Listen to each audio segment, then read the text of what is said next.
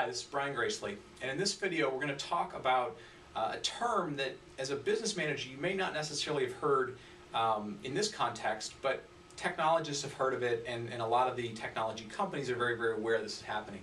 And the term is shadow IT. So we're going to talk about what's called shadow IT, and for a business manager, you probably already know this concept, but you may not have heard the term. Think about it like this when you move into a new market, you move into an adjacent market, you acquire a company, um, you decide to, to move into a new uh, product space, right?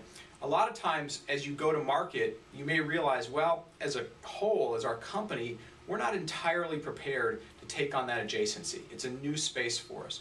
So what people tend to do is they may have the main part of their business, how they go to market, their marketing, their sales organization, and then in a lot of cases, they'll create what they'll call like an overlay team, right? And that overlay team is going to have domain expertise.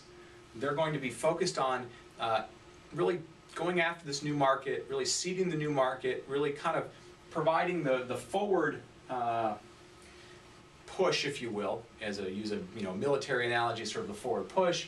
It's an overlay, which a lot of times sales organization will understand. But really, what it says is, I want to get into new, some new spaces my the, the main DNA of my organization, uh, you know, may not necessarily be prepared for this, but it's really where my business needs to go. Well, this same concept is happening in technology, right? And I'll call it shadow IT because that's what the IT industry tends to call it.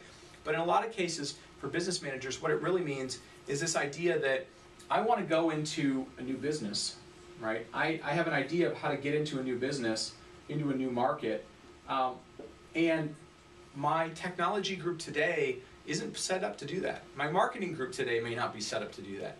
But I've got an urgency to where I want to go to drive my business. This is, you know, I want to get into a new business. And so what often happens with business leaders is they'll say, you know what, I have a route. I could go this route that goes through my traditional IT organization. They help me set up applications, they help me set up environments, um, but not really prepared to do that today. They don't have the skill set. We're sort of, you know, kind of making them, asking them to do different processes than they did today.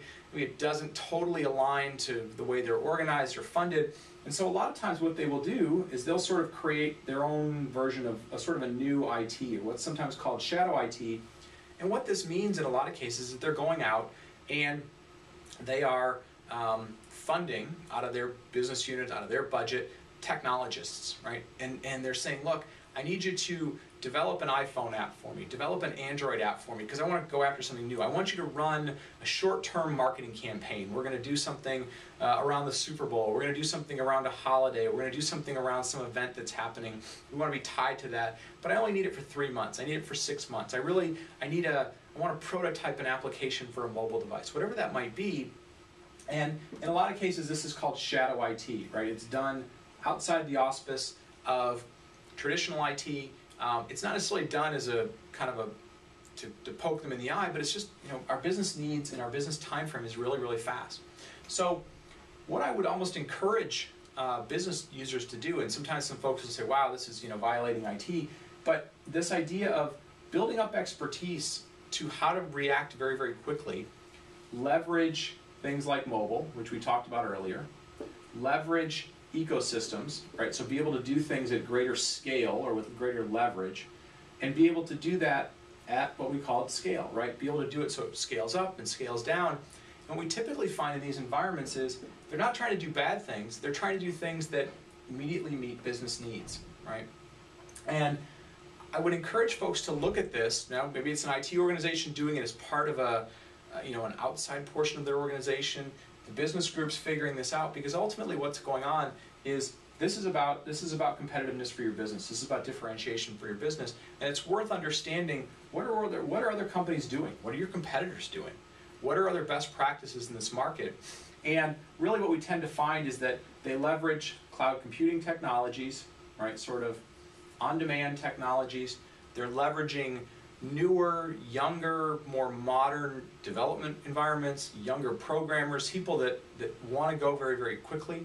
So um, some people tend to look at sort of shadow IT as being a bad thing.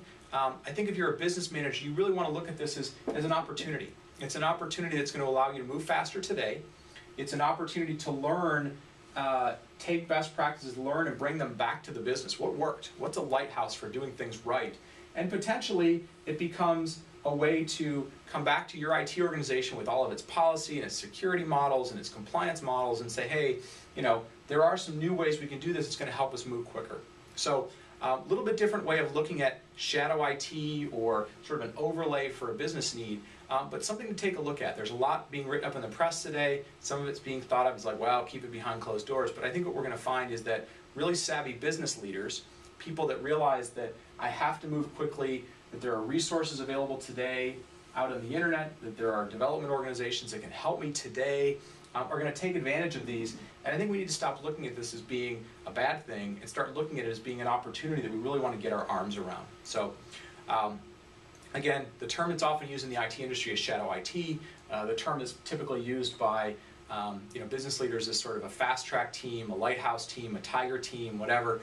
Um, so worth definitely taking a look at. There are options out there today to leverage technology to help you get into new markets, help you reach your customers faster, um, and there's ways to do that that may not necessarily break your bank as a business leader, something to take a look at. Thanks, and hope you enjoy the rest of the videos.